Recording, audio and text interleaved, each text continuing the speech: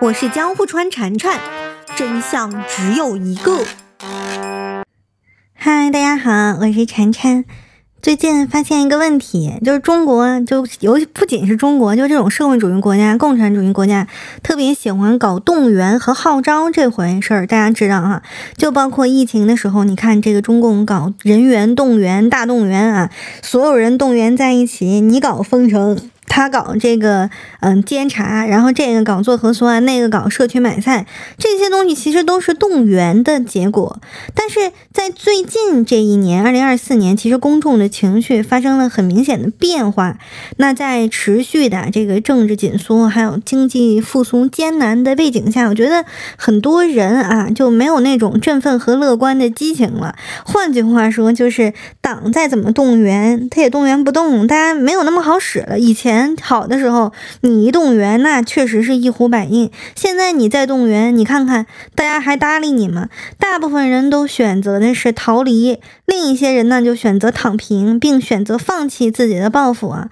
那在这个。嗯，过去这几年呢，我大概是二零一九年的时候啊，最近一次回国的时候是二零一九年，那会儿呢，实际上是新冠疫情之前，新冠疫情之后，你想再回去就难了啊。那我二零一九年当时回去的时候，其实中国还没有这种卷和内卷的太多的描述，但是这两年你看到没有？关于卷和内卷已经成为充斥中国社会的一个主题，很多人都对未来的意义和对工作的意义感觉到迷茫，不知道自己活着的意义在哪里。那我觉得从很多方面来看，中国社会对未来悲观的这种情绪也不仅仅是中国独有的，它是这现代社会的一种普遍的情绪。那尤其是在年轻人当中啊。然而，这种情绪在中国上下，它无处不在，这就表明了这个中国公众他的精神和思想层面发生了很大的变化啊。那日益高涨的这种不满的情绪，对政府的不满的情绪，对现在生活不满的情绪，对当下不管是这个工资呀、收入呀、食品安全呀、物价呀，哎，还有这种言论自由呀，各方面的这种不满，其实充斥着哎，这个对。共产党的指向，那共产党的政权呢，其实也面临着这种合法性的危机。我以前一直认为说中共合法性在哪里啊？不是说你哎这种政策上什么民主集中啊这些，也不是什么人民代表大会制度的选举，最根本的合法性就在于老百姓从你这儿切切实实拿到了好处，那日子呢跟着你确实过得变好了，然后呢这个经济确实在发展，收入明显在提高，这种物质层面的进步，实际上才是中共政权。合法性的一个坚定的基础。可是现在啊，你说为什么说政权的合法性不复存在了呢？因为老百姓在跟着你走下坡路，日子一天不如一天。在这种这个物质生活无法满足，那精神这个自由又受到压抑的情况下，你说你这政权的合法性在哪儿？你说你厉害，那你得给别人证明你确实做出成绩。那别人看你厉害不厉害，不是你说你厉害就厉害。这个啊，我觉得是放之四海而皆准。那在这个中国这是这样，其实在世界上也是这样。你说你厉害，那就像这个美美国两党竞选一样，你得做出成绩，你做不出成绩你就下台。那现在英国也是一样，你工党，你说你比之前这保守党强，那保守党下台了，你上，那你得做出成绩，你做不出成绩，下一届照样给你踢下来，继续换啊，这是民主国家的优势。那中共呢？你看啊，他在这个制度层面，他不具备这样的条件，但是每一个老百姓心中有一杆秤来称你是不是这个合法。我觉得现在另一种理解中国社会新常态的方式是什么呢？咱们从这个经济角度啊，就是从政治。动员的成本的角度来思考，那中国共产党呢？它呢有很多的议程，这种议程是野心勃勃的，对吧？他想来克服目前这个日益严峻的这种挑战。那比如说经济低迷，还有这个失业呀，以及技术啊、贸易的这种封锁，还有这些东西啊，其实都是中共这个政权需要面临的挑战。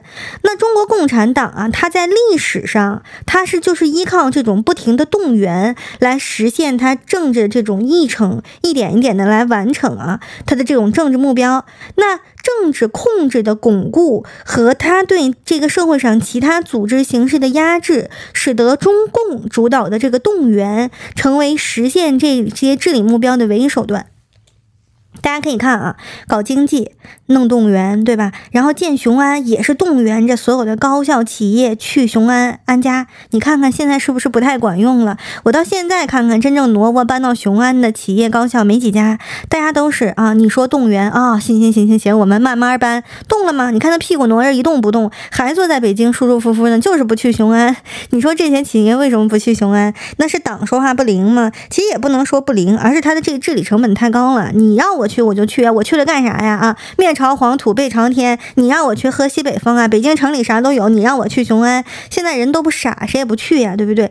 那你像他这之前搞什么东西？搞疫情防控也是动员，经济发展动员啊，西部大开发动员，然后开这个什么，当时建深圳也是动员，当时搞什么东北全是动员，一股脑儿指着哪儿，大家都往哪儿去了。中国中共历史上，他就是靠不停的动员来实现他的政治目的，而政。政治控制就是我来动员你，然后其他人没有这种动员力量，其他的这个民主党派，我给你按在桌子上，你不许动，你不许说话啊！这就使得这么多年来，他这个动员屡试不爽。但是最近这两年，他估计自己也发现自己说的话不那么灵了，就算灵一下，也灵不了那么长时间了。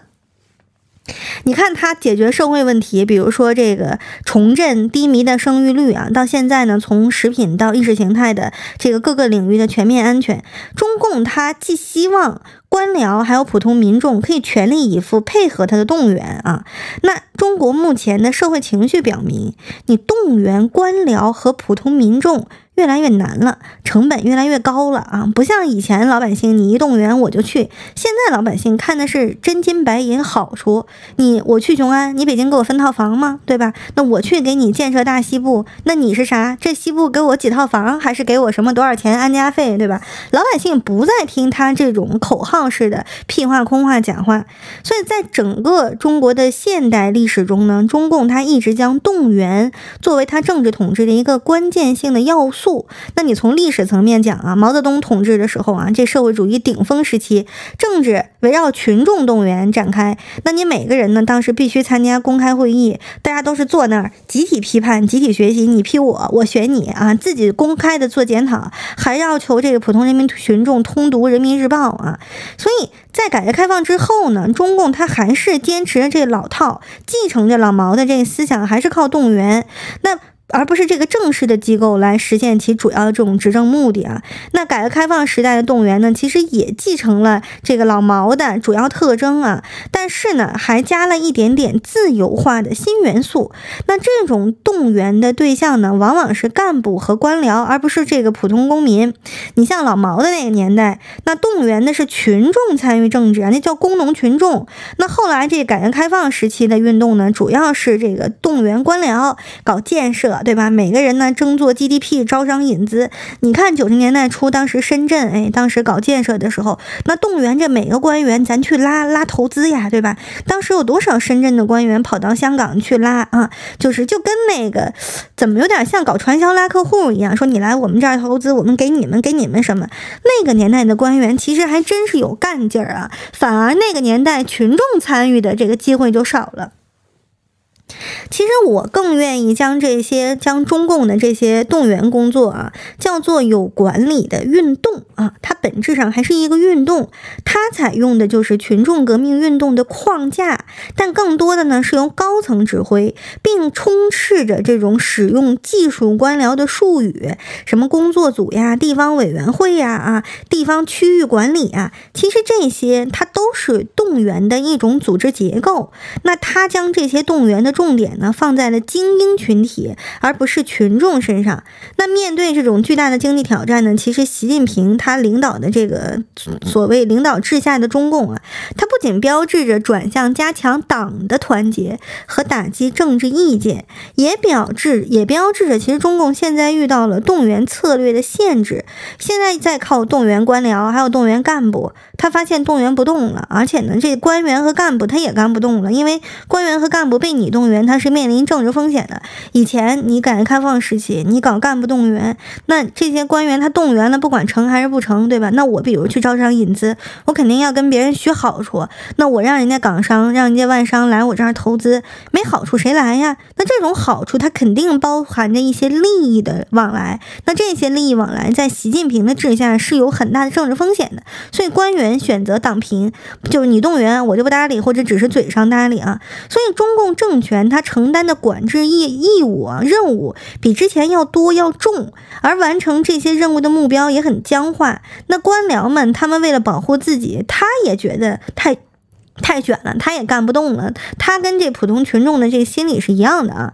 所以在这种政治日益冷漠的环境中，你去呼吁这个群众行动的要求，大家都是采取冷漠或蔑视的态度，说你对吧？又来又开始来放屁了。你动员群众生孩子，你让生就生啊，对不对？你动员群众哎去这什么买股票，你让买就买呀。所以我觉得现在啊，就是说无论是从官方层面还是群众层面，想在这种靠运动的形式。来动员老百姓的这个概率是越来越低了啊！最明显就是这个生育率的下降，你看到没有？你要是在这个四五十年代啊，你这这老毛要是鼓励群众生孩子，那绝对大家都响应号召。但是现在，二零二四，中共它出台多少鼓励生育的政策？中国的这新生儿数量还是逐年下降啊，总人口还是在减少。那在这个老百姓多年抵制改变计划生育制度的呼声之后呢？你看现在领导人不仅取消了独生子女，还鼓励这个两孩或者三孩。那现在这种人口减少的背后代表着什么？其实就代表着你中共想重塑年轻人的婚姻家庭观念，想动员大家多生孩子的这种运。运动在二零二四年的当下，它已经不像以前了。以前你动员计划生育，还别人还真响应你的号召，对吧？所有人从什么计生办呀，到什么村委会呀，到什么社区委员会呀，到年轻人自己，都是说你不让生，那我们就不生，对吧？那你像现在呢，你就包括疫情之前动员大家打疫苗，你看看动员大家防疫那会儿，中国人都还是动员的动的。你说封城，哎，咱们就封，对吧？自己动员啊。你说这打疫苗，大家就都去了。大部分人还是听话的，所以自从这个疫情以后，大家发现没有啊？就是说老百姓对于中共的这种动员，实际上是含有深深的质疑啊，甚至很多老百姓就学会了从反方向想这个问题，所以现在。动员成本的上升，对一直以来靠动员来解决经济、生活、文化、卫生、思想一系列的这种治理问题的中共啊，对他来说是一个巨大挑战。因为你要知道，你说中共治理他有什么绝招？他其实没有什么绝招，就一个就是靠动员，一个就是靠封锁，不是动员就是压制，什么东西都是靠运动式的完成的啊！什么上山下乡，大家一股脑全去了；搞改革开放，大家一股脑。全去了，计划生育，大家一股脑全去了，这不就是靠人多一个一个动员填出来的吗？对不对？所以中共他现在想要实现他的目标，实现习近平他的和他的领导层的设想，他就难度越来越大了，因为动员不灵了，他们也没有什么真的锦囊妙计，所以这个政党这个国家它的基因性就是通过动员，不停的动员，不停的给你造梦，然后让你往那个梦里以坑的以人。人矿的形式填进这个坑里。等他这个坑填满了，这个动物园运动完成了，他又往那边再画一个大饼。你看现在啊，就是说，无论是建雄安，还是这段时间搞的这个海南自贸港啊，你看是不是都是靠动员？当年又动员多少人去海南？什么圆梦海南岛、建设海南啊，好多人就是就是说，就是对这个东西都不抱希望了，觉得你又来画饼，又想动员我们过去，把我们坑在那儿啊。这跟当年邓小平圈了一个这深圳去动员大家去。下去深圳建设那个概念是完全不一样的。你现在想让这些年轻人挪个窝，根本就不太现实。你看看现在海南自贸港搞起来了吗？啊，有什么自贸啊？有什么贸易啊？有什么国际组织？有什么国际公司呀？对吧？包括这个中国国内的大学、内地的大学也没见去啊，大公司也没去啊。你看看雄安，现在还是一片荒凉。这个中共啊，他这么几十年他的见证，他有一个幻觉，就是他总是能够靠动员、靠政策啊，靠什么这个党的行政命令和指挥来建成一座城，来完成他的这种政治主张和政治目标。但是时至今日，时代变了，二零二四年这招不灵了，你还想靠动员治国、靠运动治国，这真的是很天真，前停留在上个世纪老毛的那种思想水平。你要知道时代在进步，可是你们不是说动员运动就是这个压制，就是封锁，这一招早晚会被时代淘汰的。嗯，顺应时代者。方昌亡，就就逆于时代潮流者，最后的结局不是你不想亡就不亡，不是你想逃出历史周期率就就能逃出，不是你想动员谁去哪谁就会去哪，它总有一个东西叫做规律，那顺着这个规律走，才可能继续前行。逆着规律走，你现在不亡，将来也要亡，因为这种东西它不是以每个人的主观意志为转移的。那老习的这种意识形态，他估计也意识不到这一点，他总觉得自己跟老毛一样，指哪儿大家都去哪儿，哎，指着群众去下乡，群众就下乡；指着群众去西部，群众就去西部；指着让你封城不出门，大家都不出门啊！动员能解决一切，真的能吗？这东西一次好使，两次好使，你以为次次都好使？现在老百姓他也不傻呀，好吧，我说这么多，拜拜。